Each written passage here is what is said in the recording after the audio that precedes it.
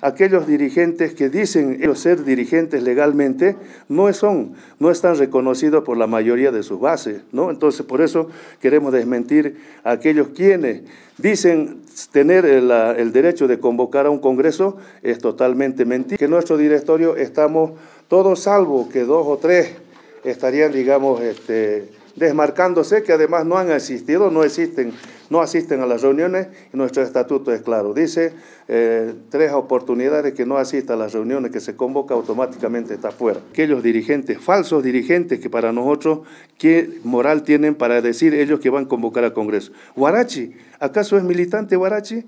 La Central Obrera, no ellos primero que se preocupen de su congreso de ellos y no estén insistiendo a que se haga un congreso político del MAS y PCP, porque esto es atribución netamente de la dirección a la cabeza de nuestro presidente Evo Morales Ayma, presidente de la dirección eh, nacional del MAS y PCP y su directorio, que han sido, hemos sido ratificados por dos oportunidades por el Tribunal Supremo Electoral.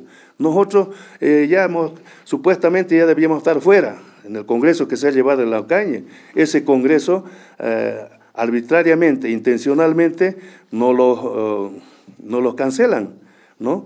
Entonces, y el, y el tribunal nos, nos, ratifica, en las dos audiencias que ha habido, nos ratifica. Por lo tanto, nosotros seguimos vigentes como dirigentes nacionales, pero también estamos en el proceso de defender el Congreso que se ha realizado en la Ocañe. Tenemos todo el derecho porque hemos cumplido con todo.